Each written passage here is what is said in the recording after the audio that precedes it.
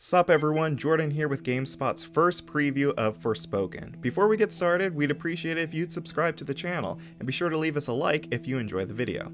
Now, my first impression of Forspoken when I saw that first announcement trailer was genuine glee. Seeing a Japanese developed role-playing game with a dark-skinned person of color as the main protagonist is rare. Seeing such a game starring a black woman is exceptionally rare. Learning later that a vast majority of the principal cast are women is practically unheard of. So I went into this latest hands-off preview of Forspoken with hopeful expectations, and at first it seemed like developer Luminous Productions and publisher Square Enix knew their stuff. Going into this game, Forspoken creative producer Raio Mitsuno wanted this to be an experience that primarily featured a female cast and starred a protagonist that broke free of conventional fantasy hero tropes.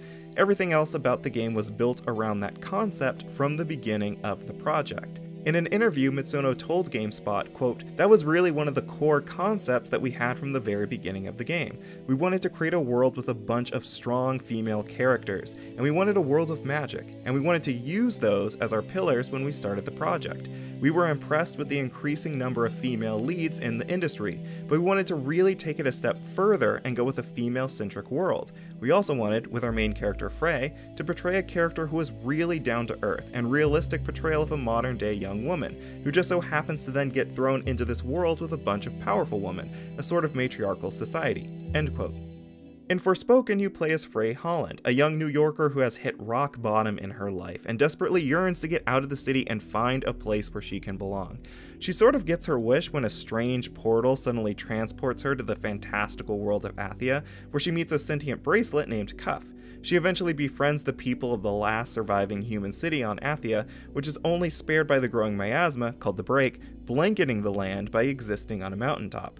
Frey sets off in search of a way home, learning she's capable of extremely powerful magic along the way, which aids her in both traversal and combat. It's a setup that reminds me a lot of isekai, a Japanese genre of light novels, manga, anime, and games where the protagonist is transported to and becomes trapped in another world.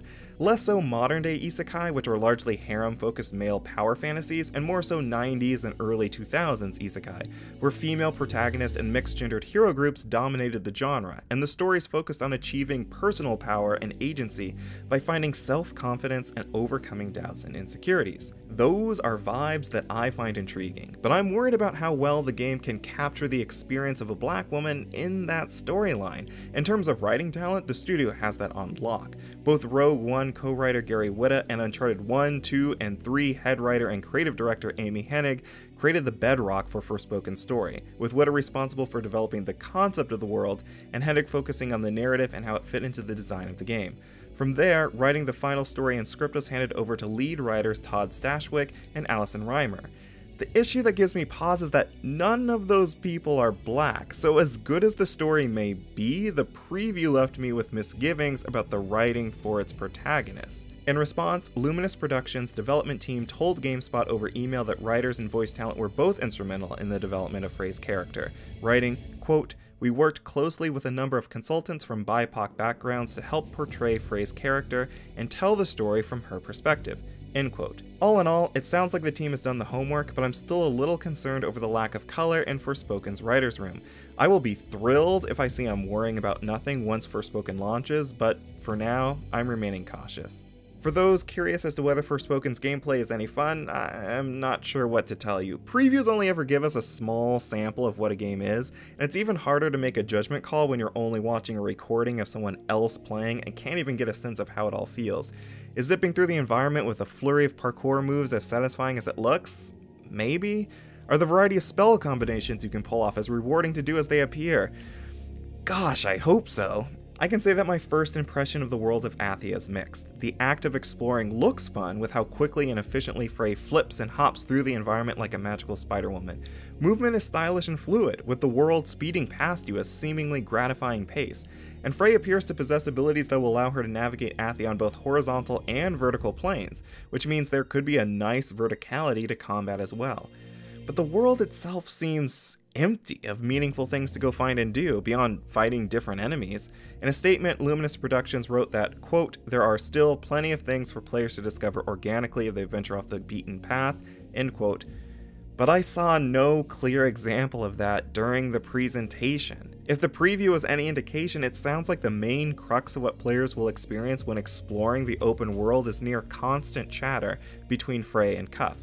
Other open world games have used banter between their characters to fill the void and quiet space while exploring between story missions. Saints Row 4, Sunset Overdrive, Marvel Spider Man, and Deathloop, just to name a few.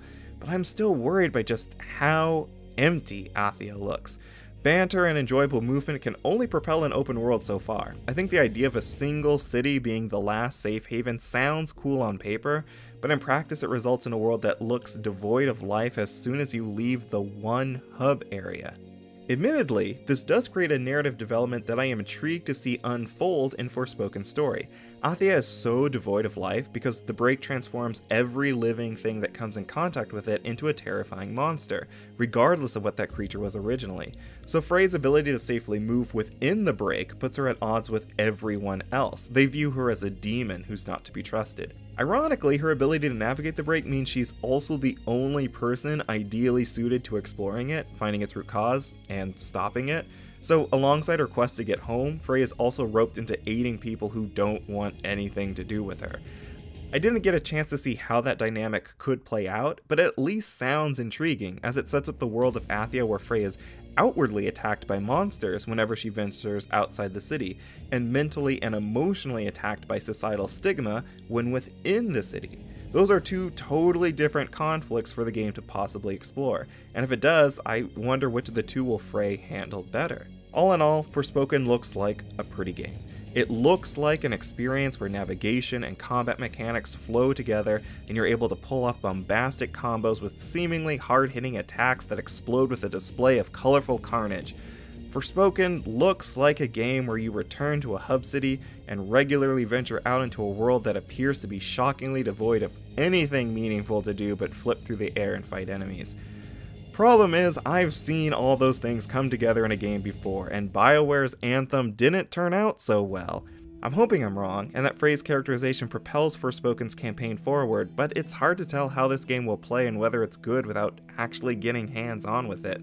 We're still a ways from that too, as Forspoken is planned to launch for PS5 and PC on May 24th. But in the meantime, you can stay up to date on Forspoken and other upcoming RPGs by subscribing to GameSpot. And if you want to see more previews like this, be sure to like the video. Let us know in the comments if you're a fan of us including developer quotes in these types of video previews too, and whether we should be doing that more often.